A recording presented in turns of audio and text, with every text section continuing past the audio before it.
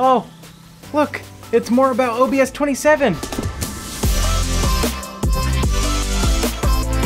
Hey guys, what's up? It's Bravity, and welcome back to another video here on my channel. Hope you guys are having a fantastic day. So yes, we are talking about OBS 27 again and about track matte stingers. I've been getting tons of comments and DMs and messages and things like that all about the track matte stingers. If you didn't know, last week I made a video about my favorite new OBS 27 feature, track matte stingers. You can watch that video, watch that video, watch that watch that video here. but all the DMs I've been getting are about how to make the actual track mattes inside of After Effects. I've covered how to make stingers for days, but today is all about how to make the actual track matte. So we're gonna jump inside of After Effects. I'm gonna show you a stinger that I have, just a very basic track matte stinger that you can create and how you would create the track matte for that inside of OBS. So let's jump into After Effects and hope you learned something. All right, so here we are inside of After Effects, and this is the stinger I have. It is just a very basic stinger that would work really well for the new track matte stinger. So you've got the line coming in, you've got your logo, and then it goes out. The cool thing about this is since it's a track matte stinger, obviously one of your scenes, your old scene,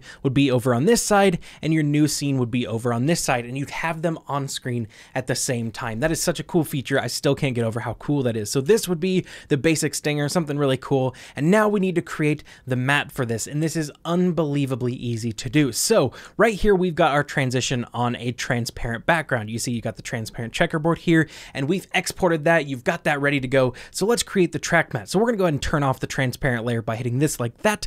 And now we've got a black background, and that's gonna be helpful because now we don't have to create a black solid. We've already got the black done. The track matte is really just going to be a black and white layer that tells OBS where the transition point is. So we need to hide the transition point behind our stinger here, behind this line. So I'm gonna jump up into this layer drop drop down, hit new, and we're gonna go to new solid, and we're gonna create a new white solid because we need black and white. So now that we've got the new white solid, we can move it down below our animation here. So we've got the stinger on top of this. And what I'm gonna do is I'm gonna take this white solid and we're going to rotate it so that it matches kind of how this stinger is moving. So rotate it sideways just like that, move it to where the point is behind our transition, and I'm gonna go ahead and scale it out just like that to give us some room. So just like that. So this is what OBS is gonna see, and it's gonna know to take one of your scenes and pop it on this black part and one of your scenes and pop it on this white part. But as you can see, our white layer does not move with our transition. But if we have it behind our transition point just like this, and we just parent it to our animation, we are completely done. So as you see, I have this null down here,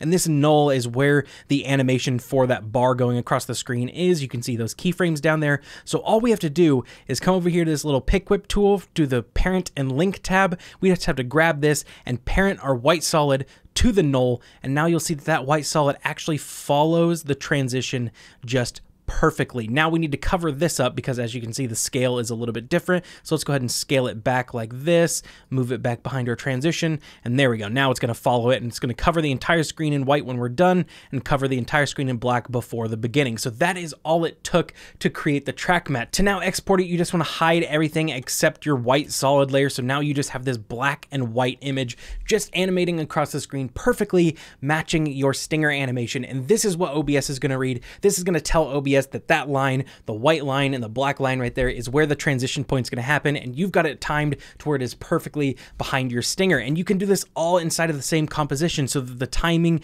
is perfect. You don't have to move the in and out points at all. You can just export the stinger like this, turn everything on, export this stinger, make sure it's on a transparent background just like that. To do the transparent background, you're going to go to composition, add to render queue, and inside of this output module, you want to make sure to change from RGB to RGB plus alpha. The plus alpha is what's it's going to give you that transparent background. But then when you're doing the track matte, you want to turn off everything except your white solid. We can turn off this transparent layer so we can see the black and white just like that. We're then going to add this to the render queue. And instead of setting it to RGB plus alpha, you can just leave it on RGB. So it's going to export with that black layer instead of the transparent layer. So I hope you guys learned something about how to create track mattes. They can get more advanced than this other than just a wipe across the screen. But I hope you guys understand that all you have to do is hide that white and black transition point behind your stinger and you can can have any kind of stinger you want. It is super easy to do when you're just parenting the animation, and I hope you guys get out there and make some awesome stuff. But that's pretty much it for this video, guys. I hope you enjoyed it. I still plan on making some awesome stuff for these track matte stingers. I've had the week to think about it, and I've come up with two